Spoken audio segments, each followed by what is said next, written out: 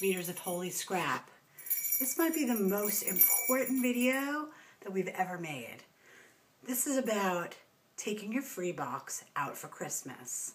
This is about gifting people without buying anything. Taking waste headed for landfill and giving it to people who are so happy that you gave them a present. So we're going to train you right now on something we do every year for Christmas, even though we're Jewish. Okay, so we made these really great suits, right? and we have these Santa sacks. It's really important that you look the part, okay? I'm an elf. I'll show you Mikey at the end. He's an elf. If ever we need to prove that, we have these handy dandy nose flutes.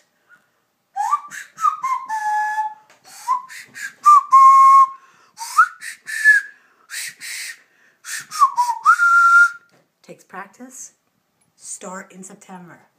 Okay, so you really got to be believable. Here's the deal we take our sack, we take all the crap in our house that we don't want, our free box, right here.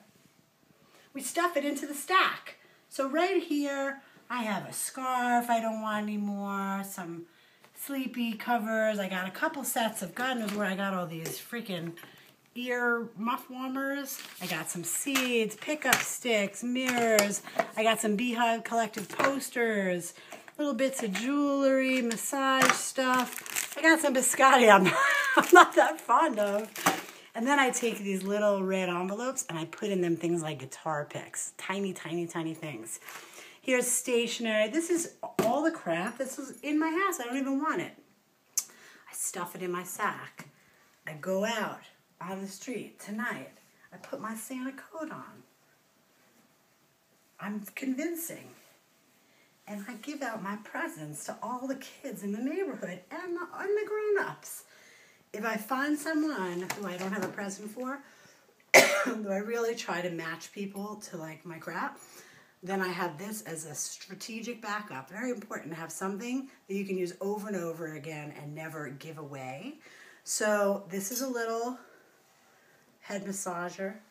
If you get someone who's really tricky, you know, maybe like a redneck you can't relate to, have nothing in common with, you just take your little head massager and they're like completely mesmerized. Very, very important. Another important strategy is we have marshmallows and sticks.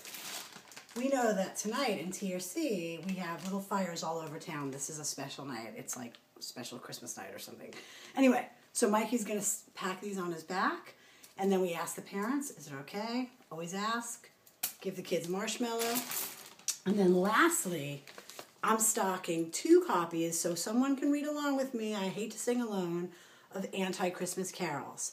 Very important, lest someone think you're really an elf. And basically, what this is all about is turning Christmas around getting rid of stuff, using waste, living in the waste stream, and making your garbage a gift that people are excited about. So get out there, make yourself a little suit, get your nose flute. Merry Christmas. Oh, and here, here's the elf, elf number two. Put on your hood, elf. Show us your little Santa sack. Oh, how cute is he? Okay, we're going out, guys. Wish us luck. Have fun.